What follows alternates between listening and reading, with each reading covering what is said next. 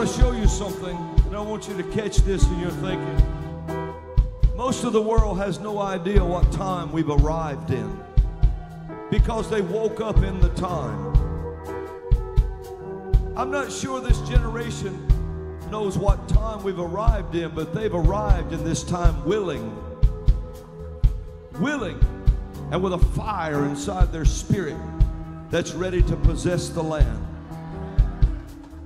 The land that most before them stayed on the other side. And we've come to this time for the second time. When Joshua approached the Jordan, he said, more or less, this is the second time, this is the last time. God has offered the others to cross, they would not. They spent 40 years in a wilderness of legalistic mindsets that made them wander in a circle like this for 40 years until a generation died.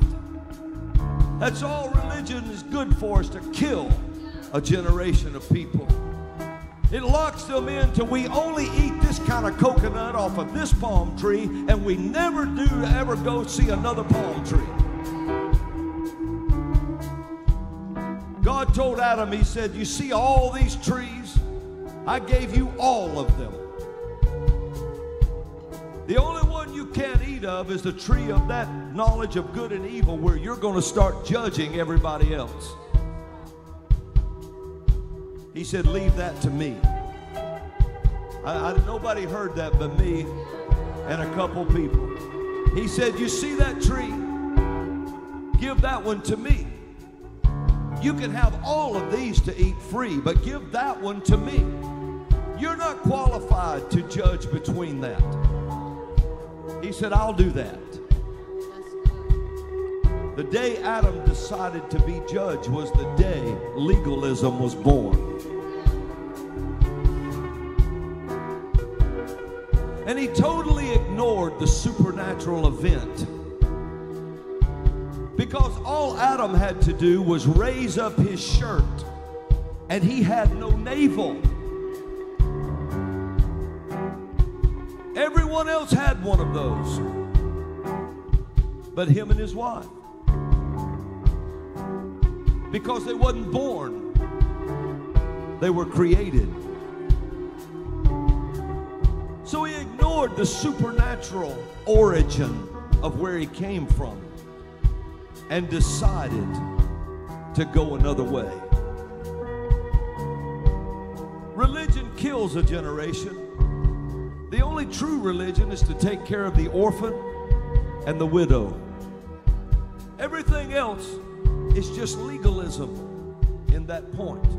Now, sin is sin, and right is right, and wrong is wrong. Make no mistake about that. But when you start eating of that tree and saying, it's wrong because I say it's wrong. You can't wear your hair a certain way because I say it's wrong.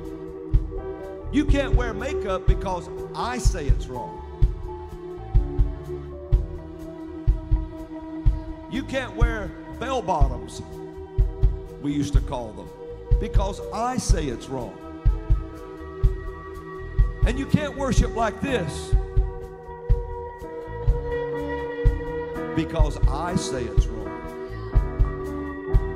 You have eaten of the tree of the knowledge of good and evil. And the Bible said you became half dead. And you're living out of either the dead side of your thinking or the live side of your thinking. Even if you don't want to cross, help them cross. And then you go back and live on your side if that's what you want to do but help them cross. They have no problem with crossing. All they want to know is is there one person left that God, they looked at Joshua and said, Is God with you?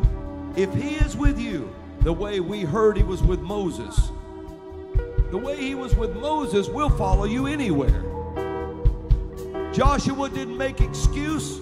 He didn't say that power passed away with Moses. He didn't say anything like that. He said, Bring the Ark of the Covenant out here. I want to show you what your covenant will really do. I want to show you the power of Moses, and I want to show you where he got it from. He brought that covenant out, and the priest, the priest, I said, the priest, the priest, say the priest, come on, the priest. Look at your neighbor, the priest. It was the priest that bore the ark upon their shoulders. The Levites the Levitical law placed the covenant above them. They put the covenant above them. But when Uzzah and the children of Israel took the ark back from the Philistines, they placed it in a new cart. A cart is made out of boards and wheels. So they put the covenant under the control of big boards and big wheels. And they let their animal appetites pull it. And the man sat above it in the driver's seat. And the animal appetite stumbled. When you see all these animal appetites being ordained in the pulpit, it gets quiet in here, doesn't it? They're going to stumble at some point. You can't let homosexuality be ordained in a pulpit. It will stumble at some point because it's an animal urge.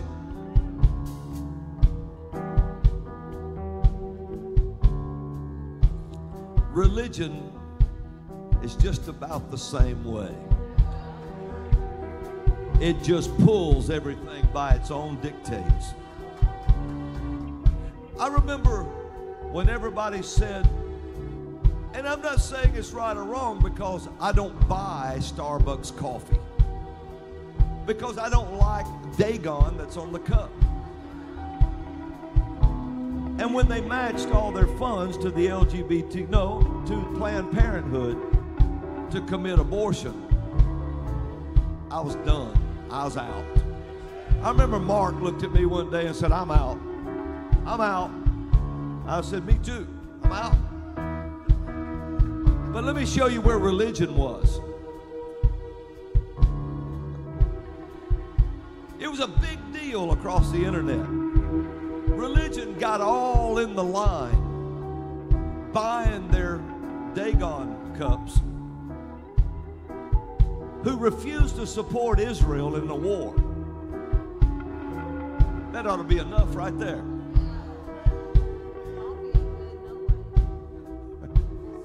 And they're, they're all in line. Now, this is, this is Christian people, all in line. Now, let me show you something. I'm, I'm talking about good people. They're all in line at Christmas. They gave them a coffee. It didn't have Dagon on the cup, it was just a red cup. And they said, oh. They refused to put Merry Christmas. Oh, those devils. They refused to put Merry Christmas on it, but still they got their pumpkin lattes. Got mad at the red cup, totally ignoring the pagan god hanging over the building on a sign that was supporting abortion and, and not supporting Israel and standing for everything that was wrong. But religion was mad over the red cup. That's a little bit stupid, don't you think? What is that? That's eating of the tree of the knowledge of good and evil. That's placing yourself above the ark. Instead, the Lord always intended, He said it has to be carried on the shoulders of the Levites, the Levitical law. You have to put the covenant above the law and only judge it by that.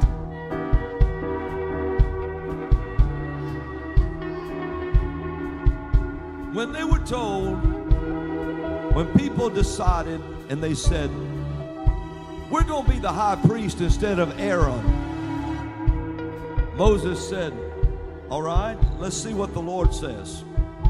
The Lord said, Bring your rods, your staff, and all of you lay them before the, the ark. Now, this is in a desert. There's no planting soil. There's, there's nothing. They take it in there and lay them before the ark. The next day, Aaron's rod budded almond branches and produced fruit on the end of the branches in a desert place where nothing like that would grow, with no culture at all. Showing that the power of God produces a beautiful blossom and a beautiful fruit. So, why would he tell you about the law and the Ten Commandments? Because he don't want you to die. He said, This is what's killing you.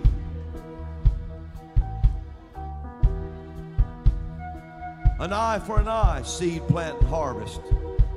Tooth for a tooth, seed, plant, harvest. Don't do this or this will happen. Don't do this or this will happen.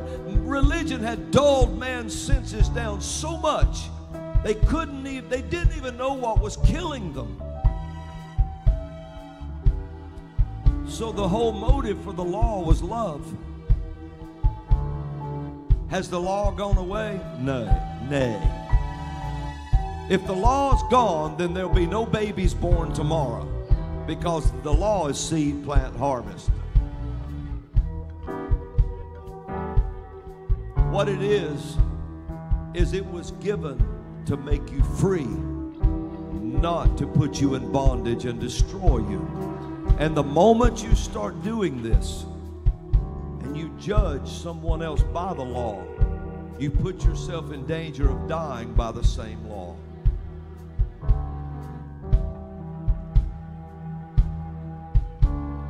Hallelujah. Well, that's not popular, Brother Robin. It may not be, but it's true. And it's the kindness of God, the goodness of God that draw men to repentance. The law was meant to make you free, but people became under bondage of it because they wanted to sin. Why do we sin, Brother Robin? Because you want to. Oh no. Yes, yes. People say, you ever hear somebody say, well, do what you want to do. That's what they're going to do anyway. Boy, it's quiet in this room. It's probably quiet across the world right now. People do what they want to anyway. Yes, you do. So, what you want to do is make Jesus the Lord of your life. Let the Holy Ghost change your heart so that your want tos change.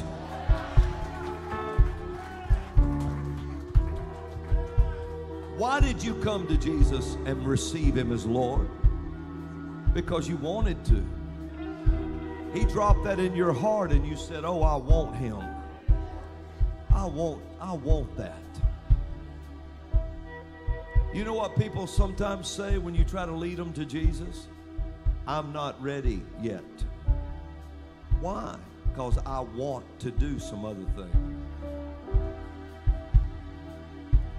I remember somebody asked Brother Hagin one time, said, I don't want to get saved. Told Brother Hagin, said, I don't want to get saved because I can't go to dances no more. She's talking about in these places. I can't go out and do all of that anymore. He said, Oh, just don't even think about that. Just come on, get saved. Then you can dance all you want. You can go do all that you want. She said, Really? He said, Absolutely. She got saved. Then she came back to him later and said, You knew exactly what you were doing, didn't you? She said, Because you knew if I got saved, I don't want to do that no more, didn't you?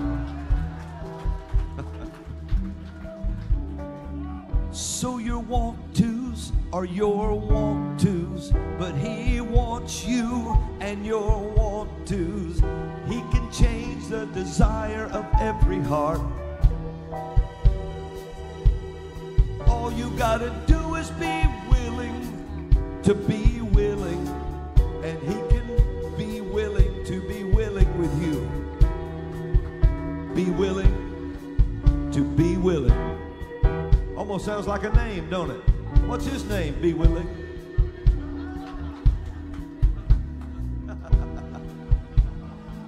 How many of you are glad you came today?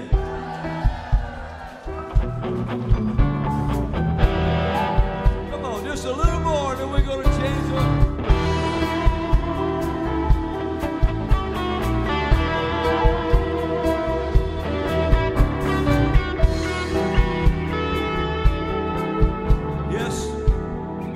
stopped to show you. Wasn't all of that, but that just came out. You know, in my day, back in my day, and you know, I'm I'm probably older than than a lot of you. Man, I'm way over half a hundred. When when I was sounds were like this when we were growing up, Robin and I. And I'm older than her.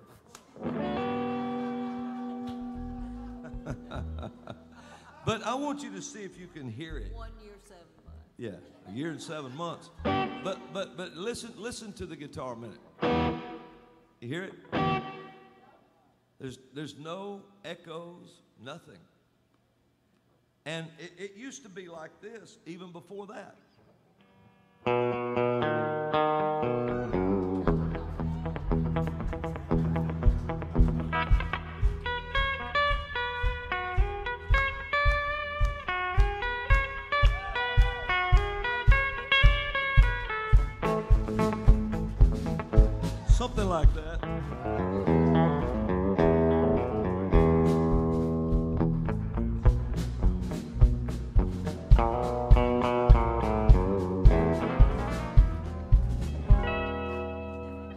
And so there was sounds, that's all we had.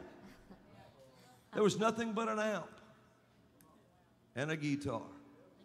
And most of the guitar strings were about that tall. And you had to just push to make it play. I mean, this guitar here, oh my goodness. Nobody even conceived a guitar like that when I was a boy. I mean, this is custom built. This, you just touch it, almost look at it, and it'll play. oh, you can play it, man.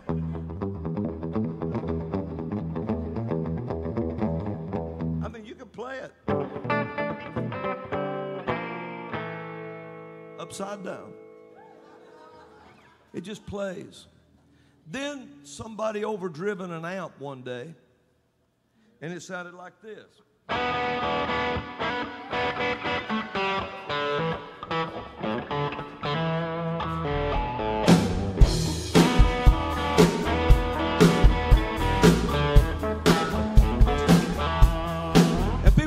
That was the coolest thing in this world.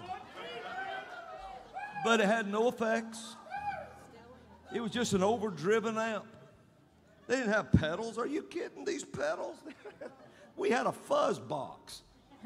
Back in the early 70s, I had a fuzz box. It was a triangle pedal that just made a fuzzy sound.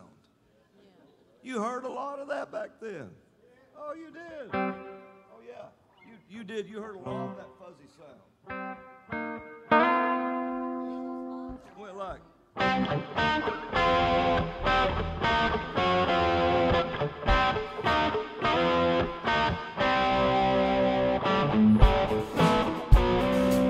So forth. You could do all of that. It was a fuzzy sound. It was a great sound. You remember? And it was, uh, uh, you know, it was. They wrote about stories. What? Our minds were fuzzy. Yeah. Well, Our minds did get a little fuzzy in the 70s. It got a little fuzzy, and some of them never came back quite like it was. I mean, really, in my generation, it was wow. Wow. Some of you remember this. Wow. We could say it backward. Wow. I mean, it was just, you know, I, I shouldn't have told you that. This generation don't even know need to know that. And but it was it was during that day. And sounds were changing, and during about that time, the nation got up on the brink of losing its mind. And the Jesus Revolution was born. It was born, it, it happened in late 60s, you know, middle 60s up to the early 70s. And it, it's, it was during the time of Vietnam and all of that, when all of our soldiers were heroes, but somehow another the nation called them everything but a hero. It was just crazy. It was upside down. Them fighting for their freedom. hey, we don't want our freedom. Well, you should have, you know, so um, ran to other nations. But the sounds changed. They changed. They all changed. And it just kept going and going and going. And then all of a sudden we added a little bit of, of this sound to it. See if you can hear the difference.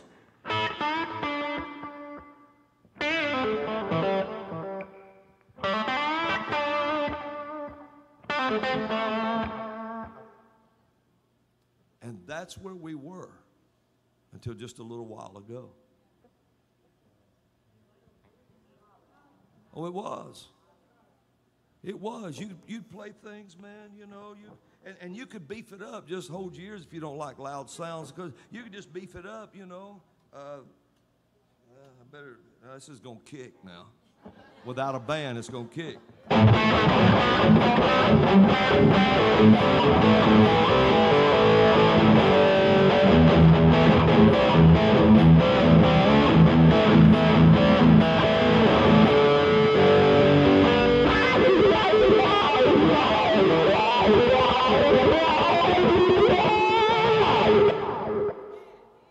and it would just kick.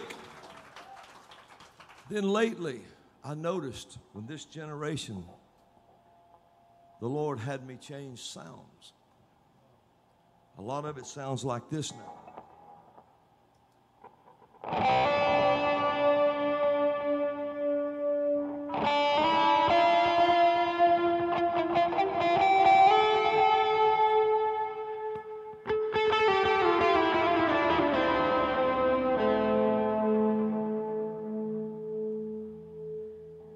Be willing to change, to give the next generation a voice. And now we're to a place where all of those voices have melted into one voice. And I use them all now. And I want to be here to see what the next one will sound like. I want to I want to ride it right on over that hill to the next place and see. And I know what's coming. I've saw it. I saw it. I've been to the future and I saw it. It's the sounds of destiny. That's what's coming. It's the sounds of destiny. It's the sounds that will produce. There's always a sound before an event arrives. Through all those sounds, it came. Through all of those sounds, there was a different move of God happened every single time. I mean, they couldn't get away from it. Even all the way back to Hank Williams singing, I saw the light, I saw the light. No more darkness, no more night. It all came by everything. Into, you get up into the 70s when Creedence and all that was playing. You could hear some of the songs they were playing. They were searching for an outlet, and people, you know, came on the scene in the Jesus Revolution singing, Why should the devil have all the good music? And they started playing, and they would sing these broad spectrums of dreams. And now we've climbed on this train with this generation. And I mean to put all the steam I have into it to push them to the top of that hill and get them up over the top of that hill so that this train can carry them by the carloads all over the world, all over the world from China, Japan, it makes no Taiwan, it makes no difference where, Vietnam. I want to see them out of Mexico. I want to see them from Australia, Russia, Ukraine. I want to see them coming from Israel, from Iran, from all of these places coming to that one name, getting on board of this train, and we chug it up that hill until we up that hill, and it keeps moving.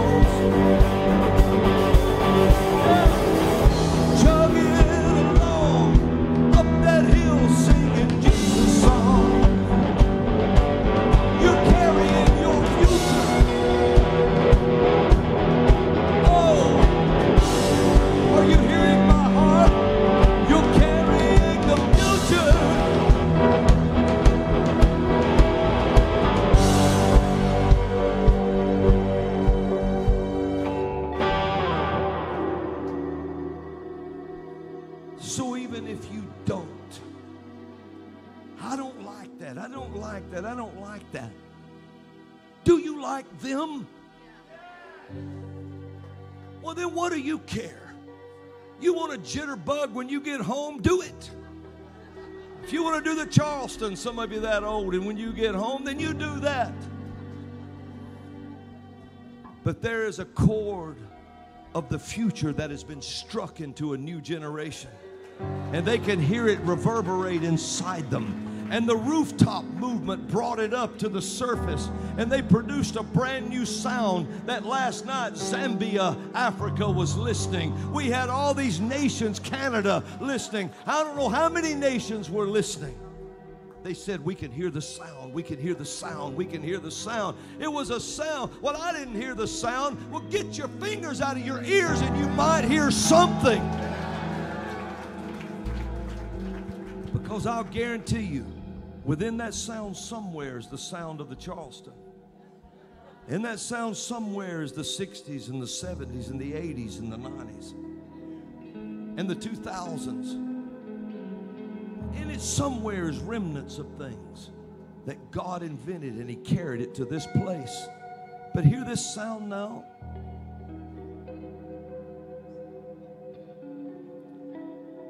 That's the chord of the future being strummed. It's the chord of tomorrow. And without them, you have no tomorrow.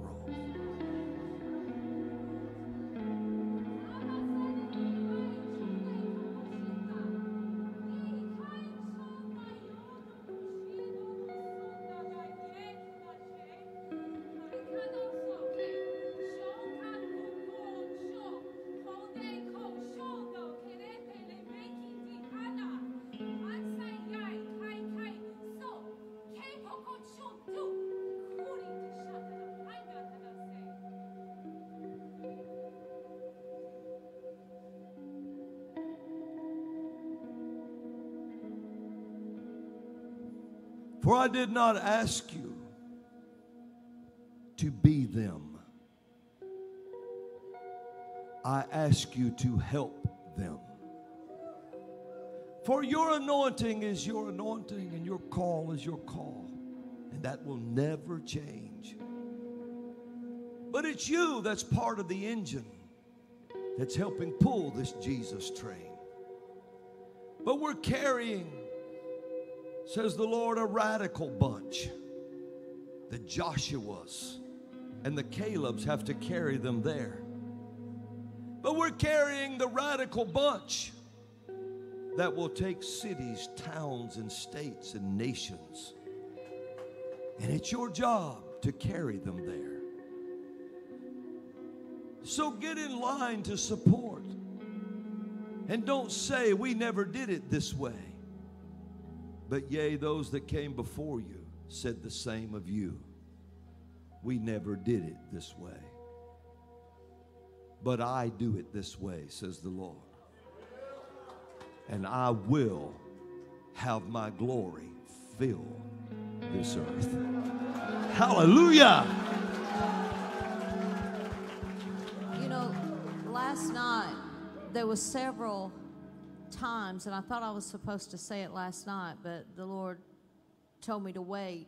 There was several of us heard almost the same thing, but the Lord began to speak to me. What did He say about the generation we'd reached into you? Uh, he said we touched the future of the future. The future of the future. We went three generations deep. And so, and I want Kayla to get that word up that she had had last night. But I was over there, and the Lord, I, I, my eyes were, were drawn when Amber came and got on the, the bongos last night. And the Lord began to, what started it, it was just a series of different things just started playing out in my mind. And we were talking about a sound, a sound, a sound, hearing a sound.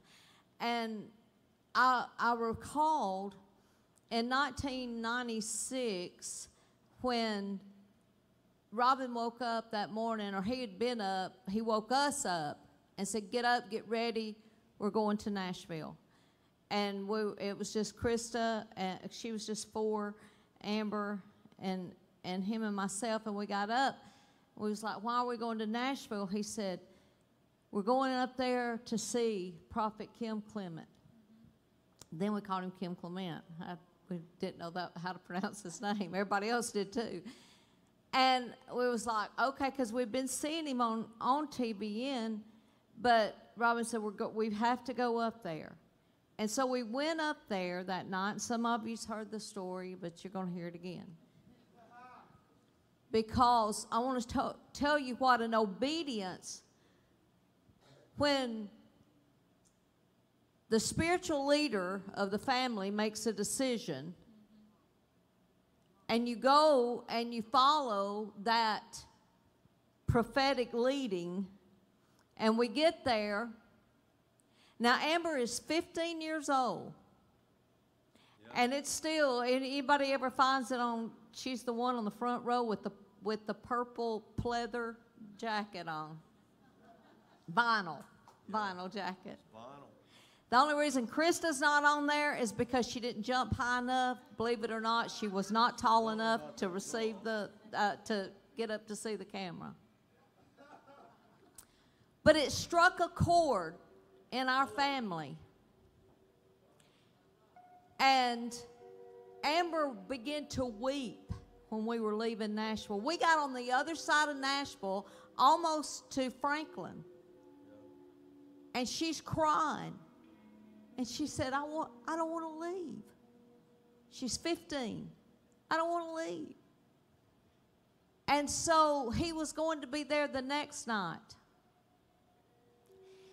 And we had a decision to make. Now, hear that. We had a decision. Do we keep on going back to Alabama? Yeah. Or do we listen to a cry of a 15 year old saying, I want to go back? I want to go back. We had no clothes to change into. That's a big deal with me. Hygiene is really important to me. I think everybody needs a good bath. I used to tell when things used to get uh, heated in the house, I'd just tell everybody, calm down, go get a bath.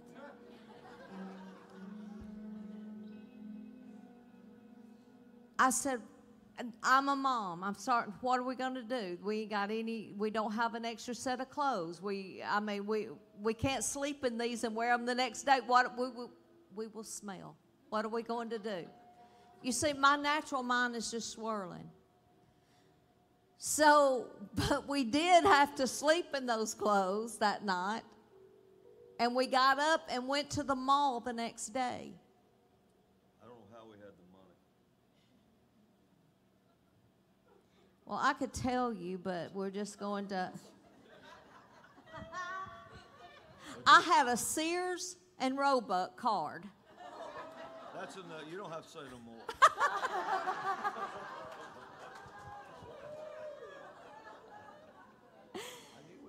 So we go over to. I, I'm I'm wondering about the the hotel we stayed in. Yeah, I don't know that either. I know, and I don't even want to. Red Roof Inn, maybe I don't know. That's what it was. It's pretty. That was pretty, uh, you know, affordable back then. And so, we go over to uh, to the mall, Rivergate Mall, and we went over there, and we're gonna get us some clothes, you know, but of course, coffee first. And the cry of a 15 year old brought us straight to the prophet Sure did. at a coffee shop. Sure did. And Matt and Lori Crouch was in there. Kim and Jane and their prophet Kim and, and Jane and their I remember baby buggies. Yeah, I don't know what who was in it. And uh, I had told Donna, she said, I don't think I was there then. But I looked and I didn't want to. I mean, you're talking about, I'm, I'm thinking, I don't even want these people to see me. We, uh, you know, I mean, we've slept in these clothes. All because a 15 year old started that pull. And I just went up to the, the guy at the counter and I said, I, I said, I want to pay for all their coffee. I was led to pay for their coffee. And I was just going to slip out the side. And they said, Who? They said, Thank you, thank you. What's your name? And, and uh, it was Matt or Lori. they said, What's your name? What's your name? And I said, My name's Robin. And, uh, and you know, I'm just trying to get out because I don't even, I wasn't even wanting to have conversation. And about that time, when I walked out, the prophet come out of that coffee shop and he was walking with a purpose and a fire in his eyes until I was just like, he said, Why did you do that? I said, Because I couldn't build the prophet a room, but I could buy his coffee. I have thanked the Lord for that response for years and years and years because that was the quickest I've ever thought on my feet, I think. He said, What would you have me to do For you. for you? I said, Pray for direction for my family. And he prayed, and that night, and Miss Betty, I just found out you was there that night. I mean, they told me you were there in the choir, in, in the choir. And that when when they told me that, I said, I remember her sitting up there in that choir. I do too. We were on the front row. Now, all of this happened because a cry of a 15 year old and a sound that reverberated in her and the willingness of parents to say, We will do what it takes. I hadn't saw her that free in a service. And the Lord brought us to the front row that night. Yeah. We didn't ask to be on the front row, we didn't seek to be on the front row. But somebody was watching that saw a, a person rush in and take our stuff and put it behind in another seat after we had placed our, our things in a seat and we were going to go just tour the grounds. And Lori Crouch saw that woman do that Sure did. and come out and said, Robin, she said, are these are is these seats okay for y'all on the front row? And she said, Are those seats okay that you have? Yeah, or do you- And we said, uh, and and anyway, she said- brought us to the front. Yeah, no, your seats are up Yeah, here. your seats are up here. So we were at the front seat to see such a monumental service that absolutely took place. And Miss Betty, you're a witness to it. The night he broke that glass on that stage. And you know, that disappeared from the internet. It disappeared. People took it off. But we were there to see the prophet take the glass, turn it over of judgment, and break it on the stage. And it was such a monumental. People were on their faces. Jane Crouch fell out in the glass, glass. right in the middle She of the glass. She didn't get cut. glass. You remember that? She was laying But it was because a 15 year old heard a sound and and just said, please. Now, she didn't have the authority in our family. We could have said, you know, we got to get back, honey. We got to get back. It- It's, you know, we, we, we don't, we, this is too much. But I was reading and I kept hearing about the, um, about when the uh, prophet Elisha told, uh, was it Joash to strike the ground? No, uh, it was, king, uh, um, Told the king, I, I've got it in my, if you'll get my Bible, right, please, and bring it to me. I've got it marked in there. He said, strike the ground. And he, he first took the arrow and he, he opened the window and he, he shot the arrow out. right. And it was for Israel. But then he said to take it and strike the ground. And he did it three times. And he said, Why didn't you do it five or six? Because it would have never, captivity wouldn't have come had you done it. And the Lord told me this morning, He said, You're striking the ground for the generations to come.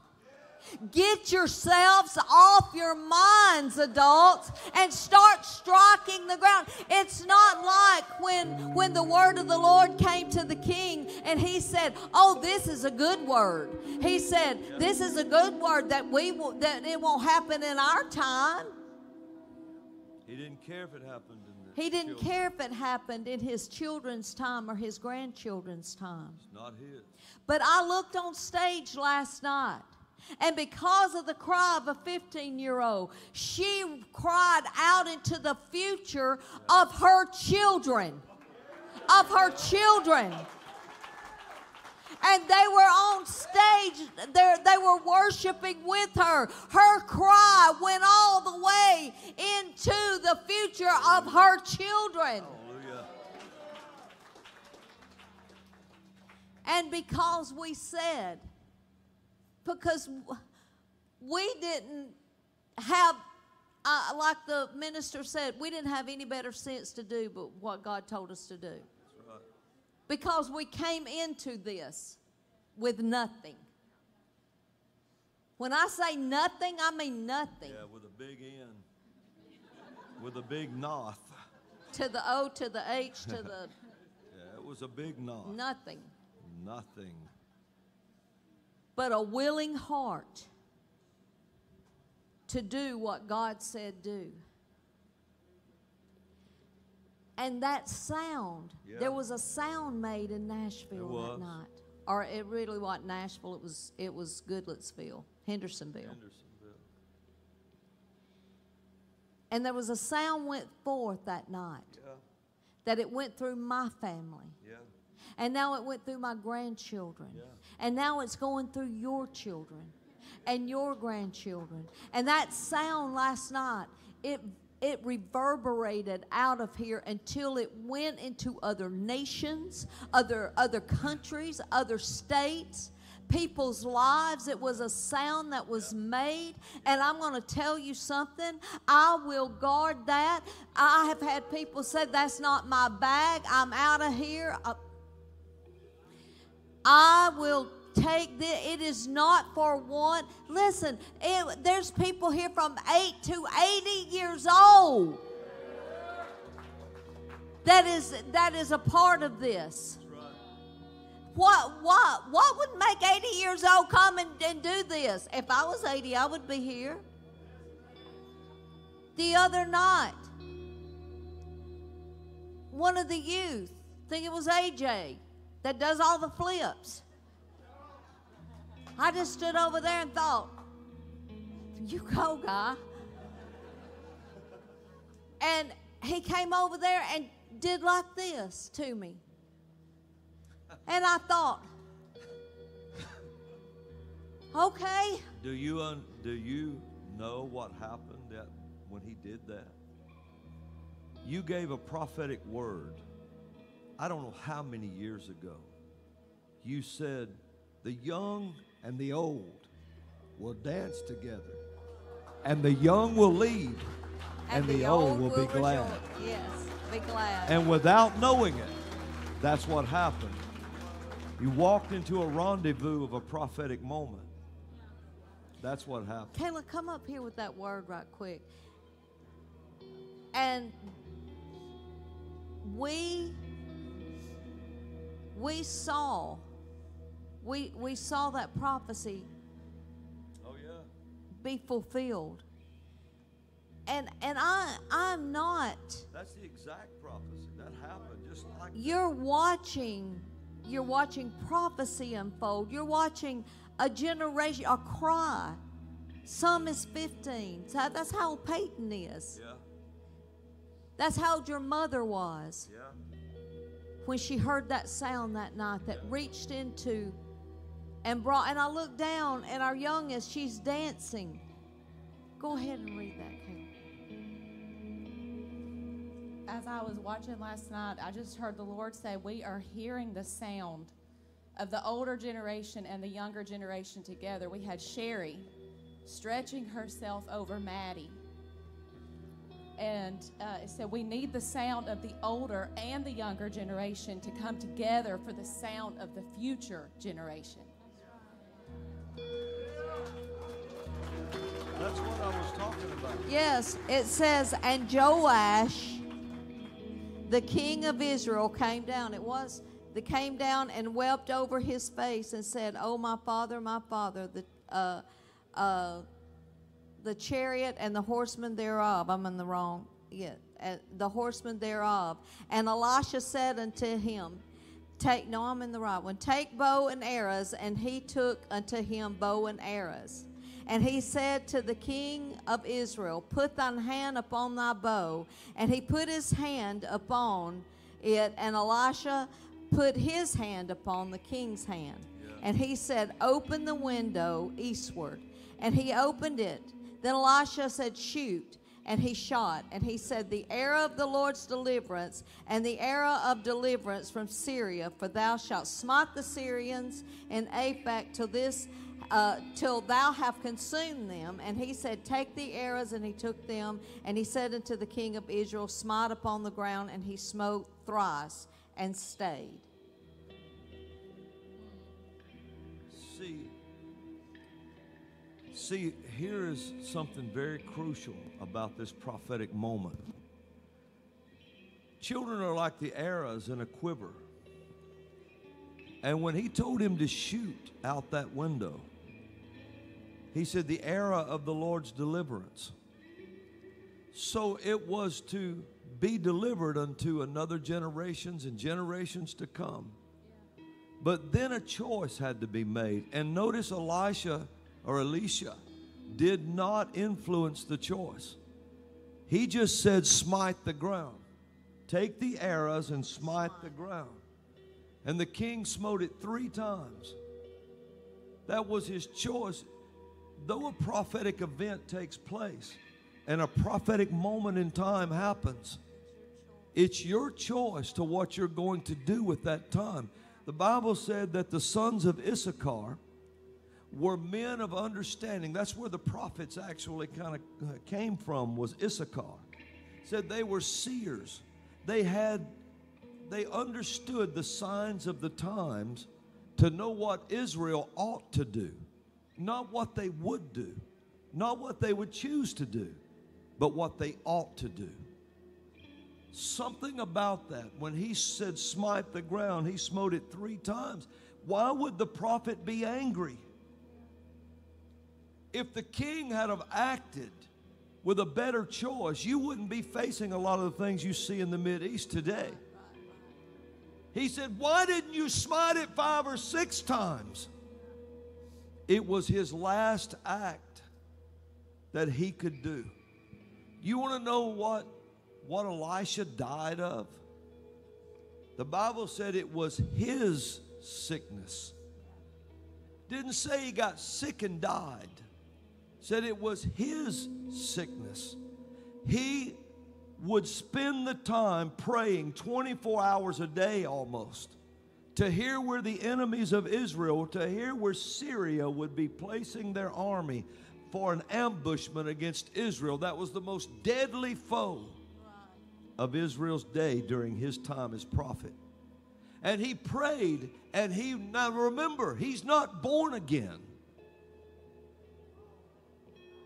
Nobody was born again till Jesus died and rose from the dead. He's operating under the Abrahamic covenant. So, what he has to do takes two, three, four times more than what you do to hear God.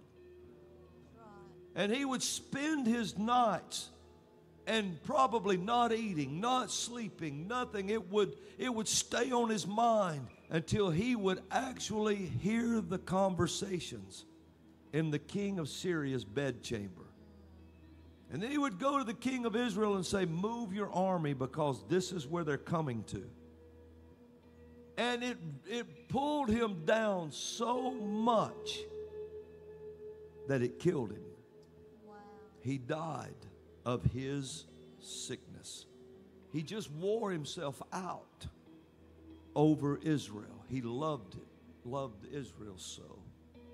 He said, They're not going down on my watch.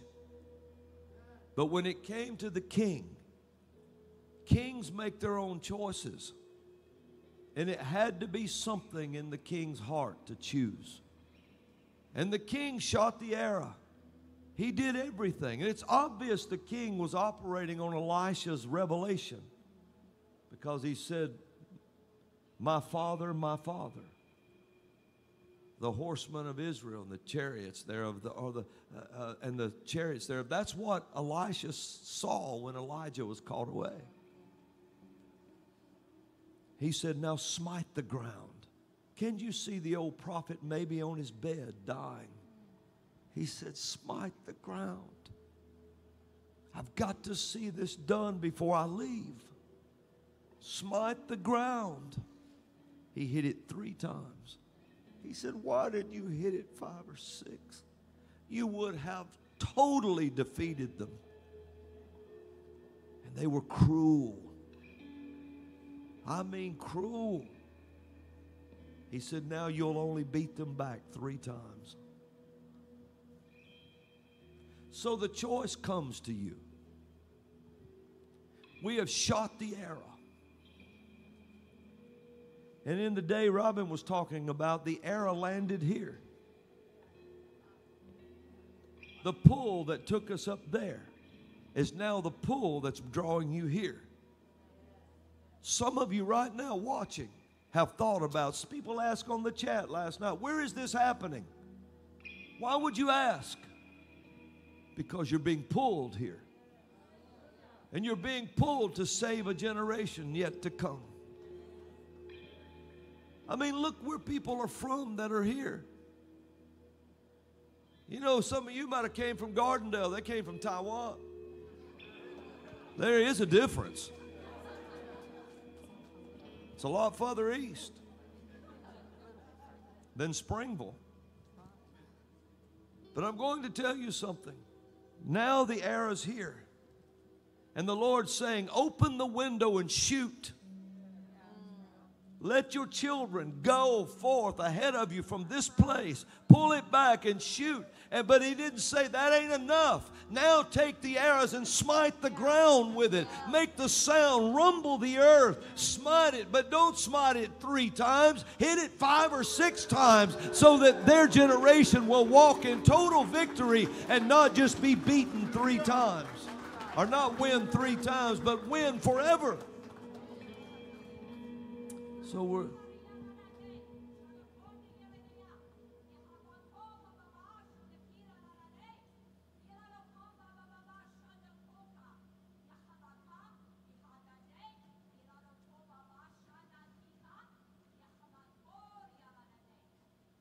For this is the Joshua and Caleb generation that are, are helping these across. You say, What can I do? I'm 80. So is he. What can I do? I'm 80. Caleb said at 80, Give me the mountain with the giants on it. I'm going to take down the giants so that my posterity can live. This is the time when we come together. They led 20 year olds across the Jordan, and they made history from that crossing. But I can't tell you how many times to hit the ground. I can only tell you open the window and let's shoot. And you've done it. Now what? Well, I, it's just not my thing. What is your thing? What is it then?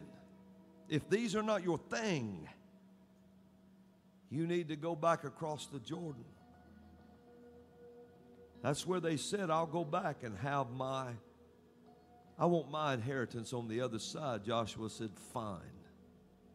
But you're going to cross and help get them over first and get them settled. Now, that's the Lord's answer to you. That's the Lord's answer. You know, that prophetic move was so strong in Kim Clement's meeting. Oh, it woke up not only in Amber, it woke it up in me. And all of a sudden, everything in my life made sense. And, and Amber knew it. Let's don't go back. Let's don't go back.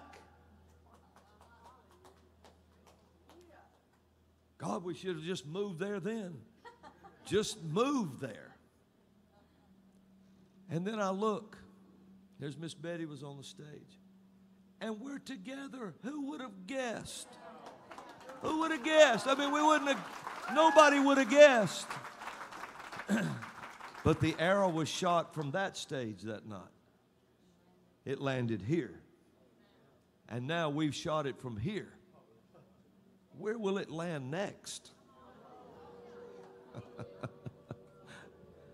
well, you know, I'm not going to turn this generation loose. You know, I walk in the a mantle like Elisha. People say, "Oh, you're like John the Baptist. You're like John the Baptist." That's only because Elisha had traits like Elijah.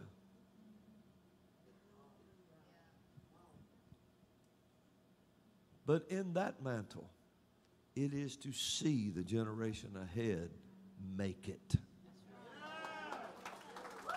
And I learned lessons. I learned from Elisha. Don't destroy yourself. And I try. But last night I'm up most of the night. But I'm listening to my family. And the other night, when that sound came off this stage, that first night when Krista was of the, that first night it hit. Not, it was after the conference, few, then it hit. But when it hit, this is my thought as I went home. I said, the future is in good hands. I did. That's what I said. I said, the future is in good hands. And I remembered that old movie. That's something, in it? You know, you just, I remembered that old, that old movie where Clint Eastwood played. He was uh, won the Congressional Medal of Honor, and he was, I forget what it was called now. And he was, they called him Gunny. He's a gunnery sergeant. They called him Gunny. And he was absolutely rough as sandpaper. And you could watch it, but the language is horrible. But he's going through there, and he gets right down to the end, and he comes back from Grenada. And he it was his last war. He came back and he got off the plane, and he's he's got all these aches and pains, and he's walking with his M16, and he's coming out of there, and he talks like this. and he said, a young guy, about 23, looked at him and said, and you thought he was going to desert or run or never enlist again, the young one. The young one said, I re-upped. He said, he said, I re-upped. He caught it. He caught the vision of another generation. He said, What about you, Gunny? He said, Oh no, I've had it. I've had it. He went through like Korea, Vietnam, all this stuff. He said, Besides, they have you now. He saw the future was secure. And one day, when I'm so old, you look around and go, God, you're old. You know? one day when that happens, I know I can look and say, oh, they have you now. They have you now. Now, make no mistake, I'm going to be old when that day comes. Because I'm going I'm to help pull that train to the top of that hill. And I've already saw what I'd be doing in the future. Hallelujah. So, how many times will you smite the ground? And I'm talking to people, parents. How many times will you hit the ground? Or are you just going to wallow in your own selfishness? You don't have any me time anymore. You have daytime now. That's what you better catch hold of. Unless you're just willing to give it all away. Well, I ain't. I ain't. Listen, I'm 63 years old standing up here jumping up and down with the youth last night, telling them, jump, jump, jump, jump. I mean, just jumping. Well, I will be in August. That's pretty close. People say, you don't, you know, you don't look over, over 58. Yeah, Robin would say, yeah. He said, you just look like you're pushing 58. Yeah, he's pushed it all the way to 63.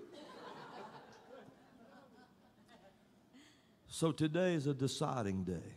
Yeah. That era in Nashville landed right here. Krista Jordan, it landed here. And the little one that couldn't even jump up high enough to be seen on camera is up on the stage with the rooftop movement. She taught us to live on the wild side.